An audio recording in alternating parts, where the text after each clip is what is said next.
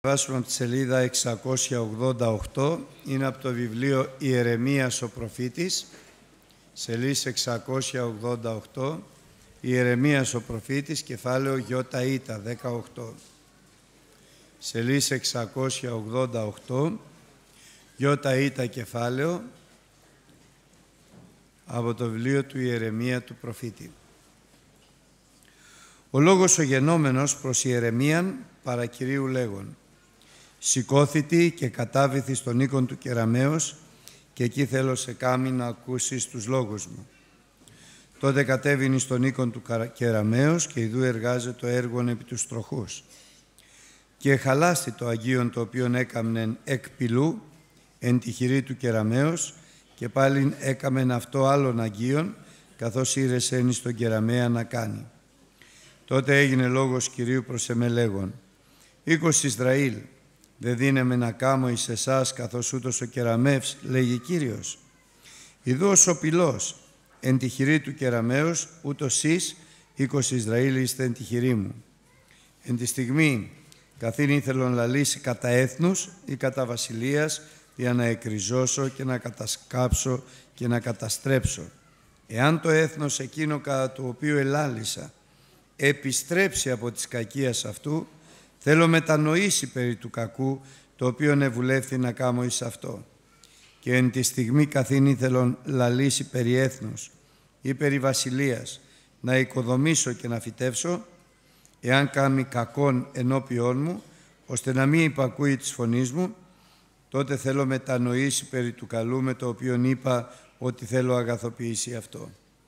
Και τώρα είπε προς τους άνδρας Ιούδα και προς τους οίκους της Ιερουσαλήμ λέγον Ούτω λέγει Κύριος; Ιδού εγώ ετοιμάζω κακών καθημών και βουλεύομαι βουλήν καθημών.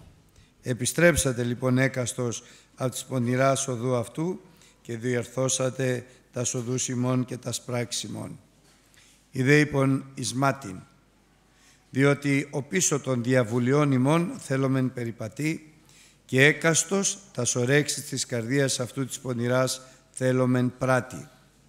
Δια τούτο ούτω λέγει Κύριος.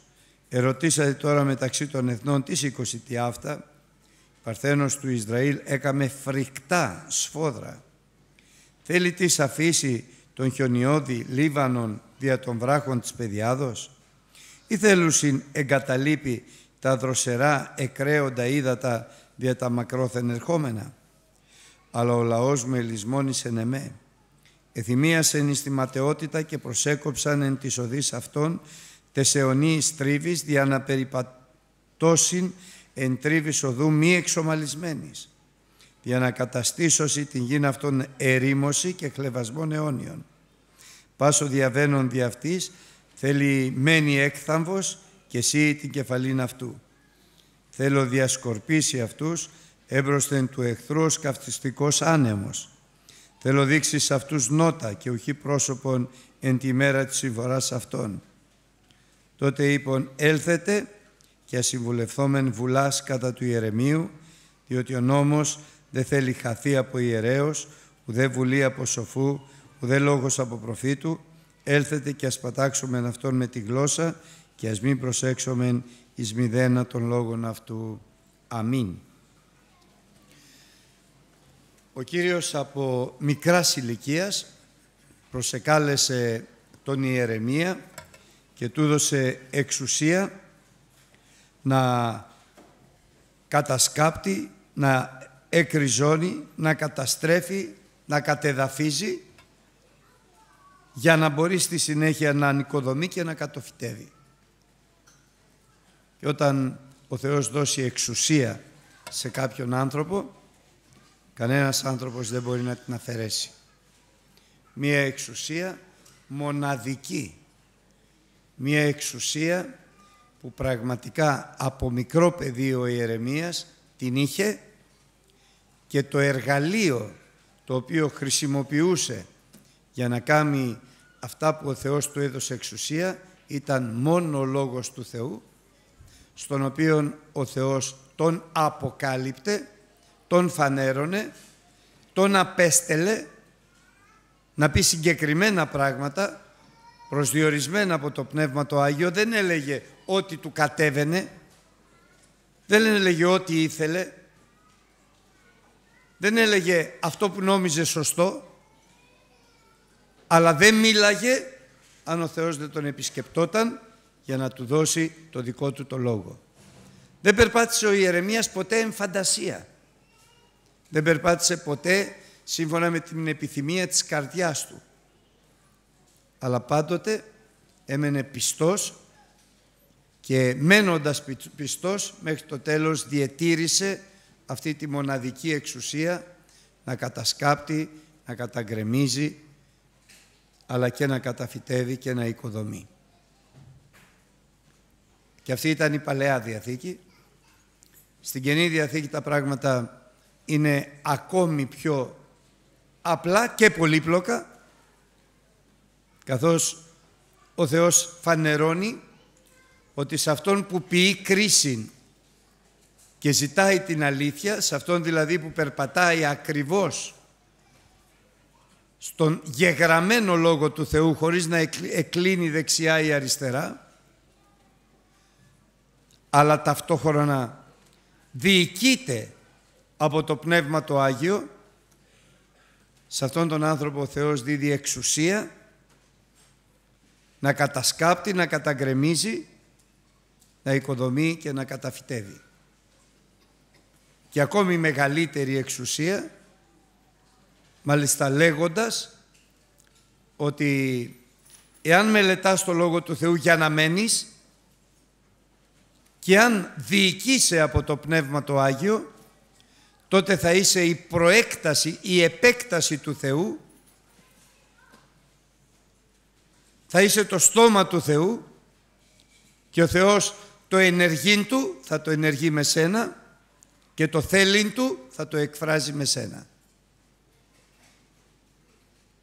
Δεν είναι προσωπολήπτης ο Θεός για να τα χαρίζει αυτά όπως στην Παλαιά Διαθήκη σε ειδικούς ανθρώπους, αλλά είναι αγαθός ο Θεός να τα χαρίζει σε κάθε έναν που τα εξητάει. Και τον βεβαιώνει με τα αποτελέσματα, με την καρποφορία, ότι πραγματικά ο Θεός συνεργάζεται μαζί του. Γιατί δεν συνεργάζεται με λόγια και με γλώσσα ο Θεός, αλλά συνεργάζεται με τους ανθρώπους με έργο και με αλήθεια. Άλλωστε είναι και γραμμένο και η Γραφή δεν δύναται να αναιρεθεί ότι ο καρπός του κάθε ανθρώπου είναι παρακυρίου. Ο Θεός χαρίζει καρποφορία στον άνθρωπο. Ο Θεός γνωρίζει και αναγνωρίζει συστήνει αλλά και ξεσυστήνει. Υψώνει αλλά και ταπεινώνει. Και αυτό δεν είναι κατά το θέλημα του Θεού, αλλά είναι κατά τις αποφάσεις των ανθρώπων που πρέπει και ο λαός Ισραήλ τότε και για διδασκαλία ημών σήμερα ο Θεός να εκφράσει πεντακάθαρα την άποψή Του. Έλα εδώ η Ερεμία, πήγαινε στον οίκον του Κεραμέα γιατί εγώ εκεί θέλω να σου μιλήσω. Να σου μιλήσω καθαρά, ξάστερα. Και ο Ιερεμίας υπάκουος, το κύριο χαρακτηριστικό, χωρίς να καθυστερεί, χωρίς να βραδύνει, χωρίς να λέει όχι μα για να δούμε, κατευθείαν πήγε στον οίκο του Κεραμέα και εκεί που πήγε είδε τον Κεραμέα να εργάζεται. Και μάλιστα στη δεδομένη στιγμή τον είδε, όπου ενώ εργαζόταν και έφτιαγνε ένα αγγείο, θα τολμούσα να πω πολύτιμο, ευρέθη κάτι κακό στον πυλό και χαλάστη. Συνήθως τα αγία τα πολύτιμα γίνονται με πυλό εκλεκτό. Δηλαδή να μην έχει πέτρες, να μην έχει σκουπίδια, γιατί αν βρεθεί κάτι τέτοιο η λεπτότηση η οποία απαιτείται στα Αγία τα πολύτιμα δεν μπορεί να πραγματοποιηθεί. Μπαίνοντας λοιπόν μέσα ο Ιερεμίας στον οίκο του Κεραμέα βλέπει να φτιάχνει ένα πολύτιμο Αγίο το οποίο όμως τα χέρια του χαλάει, όχι από αδεξιότητα του κεραμέα, αλλά από σκουπίδια που υπήρχαν μέσα στον πυλό. Από ακαταλληλότητα του πυλού. Ο κεραμέας ήξερε τι να κάνει, το σταμάτησε και έκανε άλλο αγίο που δεν είναι πλέον πολύτιμο. Και ο Θεός μιλάει άμεσα στον Ιερεμία για να καταλάβει ο Ιερεμίας το νόμο του Θεού, το έργο του Θεού και το σχέδιο του Θεού για κάθε άνθρωπο. Δεν μπορώ εγώ να κάνω σε εσάς ακριβώς όπως κάνει ο Ιερεμίας, ο, ε, ο Κεραμέας και εξηγεί. Όταν εγώ πάρω απόφαση και λαλήσω εναντίον έθνους και βασιλείας για να ξεριζώσω, να κατασκάψω και να καταστρέψω, η απόφασή μου δεν είναι οριστική, μέχρι ότου δω την ανταπόκριση του λαού στον οποίο απευθύνθηκα, του ανθρώπου στον οποίο απευθύνθηκα. Εάν γνωρίσας την πρόθεσή μου για καταστροφή μετανοήσει και επιστρέψει από την κακία του, τότε και εγώ άμεσα θα μετανοήσω περί του κακού το οποίο ευουλεύθη να κάνω εις αυτόν. Αντίθετα, όταν μιλήσω για ένα έθνος, για ένα λαό, για έναν άνθρωπο, για μια οικογένεια, ότι εγώ πρόκειται να την ευλογήσω σφόδρα, να την οικοδομήσω και να την καταφυτεύσω. Περιμένοντας την ανταπόκριση γιατί ο λόγος μου είναι εναληθεία από αυτά που βλέπω σήμερα, όμως το έργο μου εξαρτάται από αυτά που θα δω αύριο. Και αυτό είναι το μήνυμα αδερφοί. Το σήμερα δεν μας εξασφαλίζει ποτέ το αύριο. Το σήμερα μας εξασφαλίζει πάντοτε μόνο το σήμερα. Και αύριο πάλι θα γίνει σήμερα και το σήμερα θα μας εξασφαλίζει μόνο το σήμερα. Σήμερα είναι καιρός ευπρόσδεκτος, σήμερα είναι η μέρα σωτηρίας. Εάν λοιπόν μιλήσω ευμενός προς ένα βασίλειο, προς ένα λαό, προς μια οικογένεια, προς έναν άνθρωπο. Πριν αποφασίσω να εκτελέσω, περιμένω την ανταπόκριση που θα έχει στην καρδιά του ο λόγος μου. Θα είναι ο λόγος μου προς ταπείνωση, προς διόρθωση, προς ευλογία ή προς υπερηφάνεια, ύψωση. Πω πω τι είπε για μένα ο Θεός, άρα εσείς όλοι είστε τι να πω τώρα και να κάνω ό,τι θέλω. Πάντοτε ο Θεός περιμένει την ανταπόκριση των λόγων που αποστέλει σε κάθε έναν από μας προσωπικά. Είτε λαλώντας ευμενός, είτε λαλώντας ελεγκτικά, είτε προφητικά για το άμεσο μέλλον. Περιμένει να δει πώς θα ανταποκριθούμε στα λόγια του ο Θεός. Εάν λοιπόν αυτός τον οποίον ελάλησα ευμενός κάμει κακόν ενώπιόν μου ώστε να μην υπακούει πλέον της φωνής μου κάνει κακό ενώπιόν μου επαναλαμβάνω ώστε να μην υπακούει πλέον της φωνής μου τότε και εγώ θα μετανοήσω για όλα όσα του υποσχέθηκα. Και τώρα η ερεμία που κατάλαβες πήγαινε να μιλήσεις στο λαό Ισραήλ. Να ακούσει το λόγο μου, να ακούσει τη φωνή μου και εγώ περιμένω να δω την ανταπόκρισή του στο λόγο μου. Πήγαινε πες του ότι κακές βουλές βουλεύομαι για Αυτόν, γιατί δεν υπακούει στο λόγο μου. Γιατί περπατάει κατά τις επιθυμίες της καρδιάς του και ιδιαιτέρως γιατί η καρδιά του δεν είναι καθαρισμένη και φιλοξενή. Αλότρια πράγματα εξώ από αυτά που ο Θεός θέλει. Δεν έχει δηλαδή δικαιοσύνη, πίστη, αγάπη και ειρήνη. Αλλά έχει άλλα πράγματα έξω από τη δικαιοσύνη, την πίστη, την αγάπη και την ειρήνη. Έχει φθόνο, έχει φιλονικία, έχει ζήλια και έχει προχωρήσει ακόμη περισσότερο. Έχει ειδωλολατρία. Γι' αυτό και εγώ προτίθεμαι να επέμβω με κρίση και όχι με ευλογία. Το μήνυμα λοιπόν σήμερα είναι αδελφοί ότι μπορούμε σήμερα να αλλάξουμε την πορεία της ζωής μας. Μπορούμε. Από ζωή προγραμματισμένη από το Θεό σε τιμωρία, κρίση να την κάνουμε σε ευλογία. Αλλά ακόμη περισσότερο. Από την πρόθεση του Θεού για ευλογία, να την κάνουμε πολύ μεγαλύτερη ευλογία.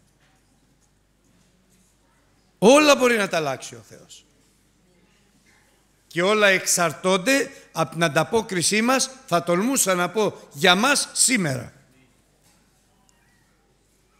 Όσο και ελεγκτικά να έχει μιλήσει ο Θεός, με μία σου κουβέντα στο Θεό, μεταβάλλει την πρόθεσή Του σε μεγάλη ευλογία. Γι' αυτό μη φοβάσαι, μην ανησυχείς, καθώς βλέπεις τα ερχόμενα, μην ταράζεται η καρδιά σου, μη δηλιάς, καθώς βλέπεις τα ερχόμενα, μία λέξη σου μέσα στο ταμείο σου, εξ όλης της καρδίας σου, κάνει το Θεό να ανατρέψει τα πάντα υπέρ του μετανοούντος. Δεν είναι ο λόγος του Θεού κισμέτ, αφού θα έρθει το κακό ας έρθει. Όχι, δεν είναι κισμέτ. Ο Κύριος είναι ο Θεός της αγάπης. είναι συγχωρητικός, είναι εκτήρμον, είναι πολυέλεος, είναι μακρόθυμος, είναι πολυεύσπλαγνος. Μετανοεί για το κακό όταν δει τη δική σου ταπείνωση και τη δική σου επιστροφή στο Θεό. Όταν λοιπόν μετανοήσεις και επιστρέψεις, τότε να περιμένεις την ευλογία να την κάνει ο Θεός μεγαλύτερη, τη δόξα Του στη ζωή σου να την κάνει και να αποκαλυφθεί περισσότερη, αρκεί εσύ σήμερα, εγώ σήμερα, εμείς σήμερα, να ταπεινωθούμε μπροστά στο Θεό, να ομολογήσουμε ότι εις πολλά πτέωμεν άπαντες, ότι πολλά είναι τα λάθη μας και αυτά που έχουμε καταλάβει και αυτά που δεν έχουμε καταλάβει, αλλά εμείς ελπίζουμε με μια ελπίδα βεβαία και ασφαλή στην υπόσχεση με θόρκου του Θεού ότι ευλογών θα σε ευλογήσει, θα με ευλογήσει. Και πληθύνων θα σε πληθύνει και θα με πληθύνει. Και σένα και την οικογένειά σου αρκεί. Να μην πεις όπως είπε ο λαός Ισραήλ. Άστο να λέει. Εμείς θα συνεχίσουμε να, να περπατάμε έτσι πως έχουμε αποφασίσει. Και θα συνεχίσουμε να πράττουμε έτσι πως έχουμε εκλέξει. Άστο να λέει τον Ιερεμία. Άστο να λέει τον Λόγο του Θεού. Άστο να λέει. Όχι, αυτό δεν το λέμε εμείς. Τα αυτιά μας ανοιχτά τεντωμένα για να πάμε γρήγορα τώρα που είναι καιρός ευπρόζεκτος, τώρα που είναι η μέρα σωτηρίας, να μετανοήσουμε ώστε ο Θεός να υψώσει χείραν κρατεάν, εξυπλωμένο βραχίωνα προς ευλογία και όχι προς κατάκριση. Να η εξουσία του Ιερεμία. Ο Λόγος του Θεού. αλλά έχει εξουσία σε αυτούς που αποδέχονται την εξουσία του Λόγου του Θεού. Και εμείς σήμερα την αποδεχόμαστε. Και εμείς σήμερα λέμε γεννηθεί το το θέλημά σου ως εν ουρανό και επί της γης. Δεν θέλουμε Κύριε τα λάθη μας να φέρουν ζημιά στην οικογένειά μας, στους αδελφούς μας, στην Εκκλησία. Θέλουμε να μετανοούμε. Μετανοούμε σήμερα, μην αδερφοί. Το φωνάζουμε με όλη τη δύναμη της ψυχής μας. Μετανοούμε. Μετανοούμε. Κύριε, μετανοούμε. Γιατί θέλουμε να δούμε τη δόξα Σου στη ζωή μας.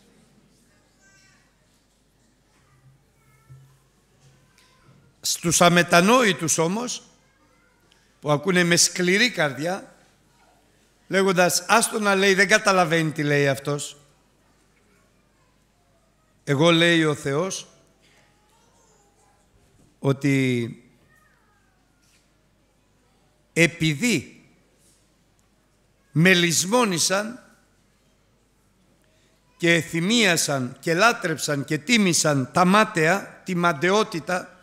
Άρα τι είναι αυτό αδελφοί που κάνει τον άνθρωπο του Θεού να μην καταλαβαίνει και να μην μετανοεί; Όταν το βλέμμα του είναι στραμμένο στα μάταια. Όταν η καρδιά του είναι στραμμένη στα μάταια. Όταν η ψυχή του επιθυμεί ματαιότητα και όχι αυτό που λέει ο Χριστός ζητείτε τη Βασιλεία του Θεού ψάξτε εργαστείτε και τη δικαιοσύνη αυτού μέσα στο Λόγο του Θεού. Και τη διοίκηση του Πνεύματος του Αγίου. Και όλα τα άλλα εγώ θα σας τα προσθέτω.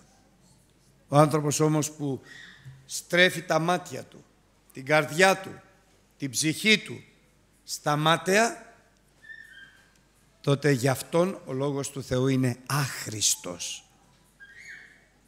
Γιατί είναι δεμένη η ψυχή του και η καρδιά του με τα μάταια. Δεν μπορεί να αποχωριστεί από αυτά. Όποια μάταια κι αν είναι, για οποιαδήποτε ματαιότητα κι αν συζητάμε. Οποιαδήποτε μορφής ματαιότητα. Έξω από το Λόγο του Θεού, έξω από την παρουσία του Θεού, έξω από τη δόξα του Θεού. Σήμερα έχουμε μια ευκαιρία αδερφοί όλοι μας να κάνουμε το Θεό να μας ευλογεί έτσι περισσότερο. Με τα πάσης βεβαιότητος. Όχι γιατί το λέω εγώ, ούτε γιατί το λέει ο Ιερεμίας, αλλά γιατί το λέει ο ψευδής λόγος του Θεού. Μας ευλόγησες μέχρι τώρα, Κύριε. Μετανοούμε και ξέρουμε ότι θα μας ευλογήσεις ακόμη περισσότερο. Για να περπατάμε από ευλογία σε ευλογία και από δόξα σε δόξα καθώς εμείς ταπεινωνόμεθα ενώπιόν Σου,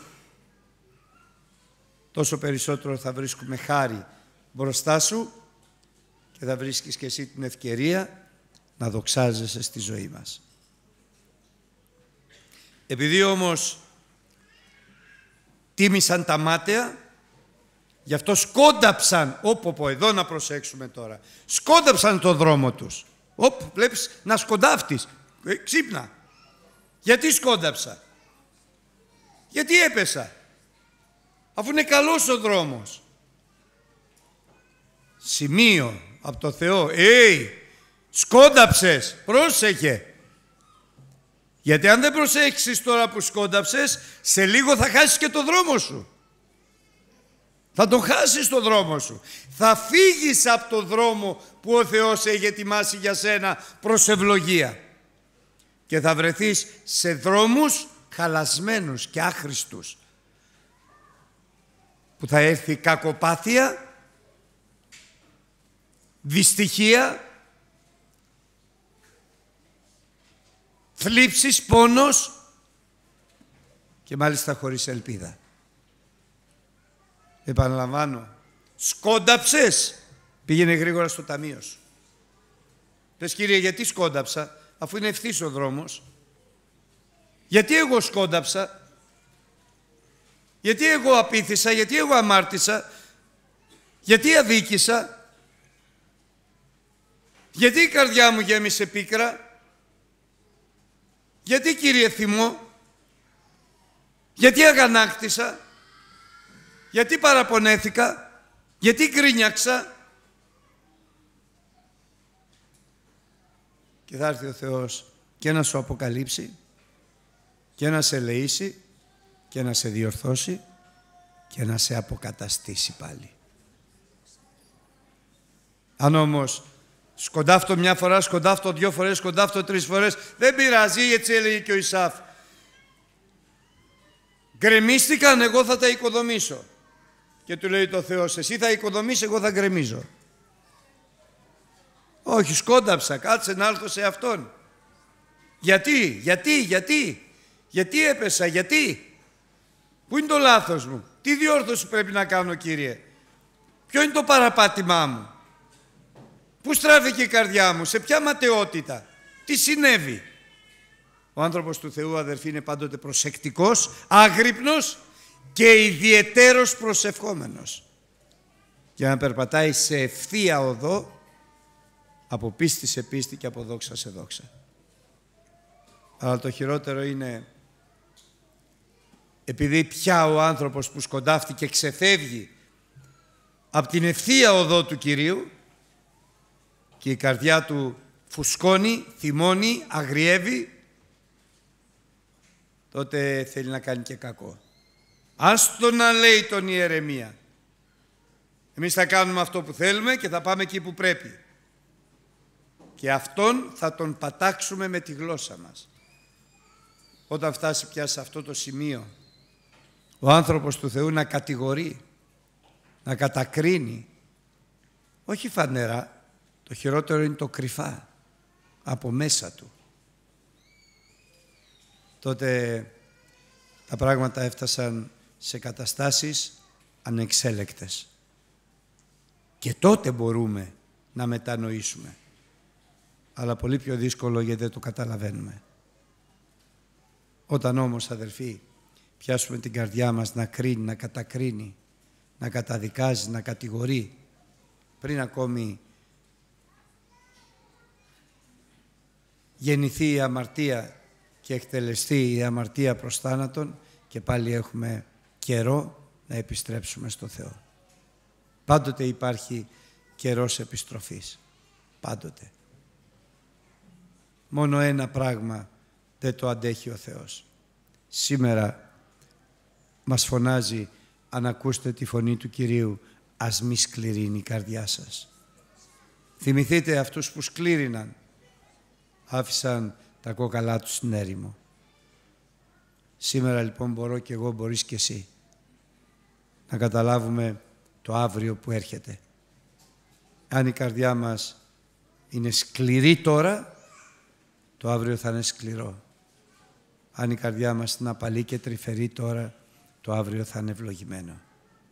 Σήμερα όμως μπορούμε να πάμε στον Κύριο ακόμη και Αυτός και αυτό μπορεί να το κάνει και την καρδιά μας να μαλακώσει και την καρδιά μας να γιατρέψει και την καρδιά μας να διορθώσει.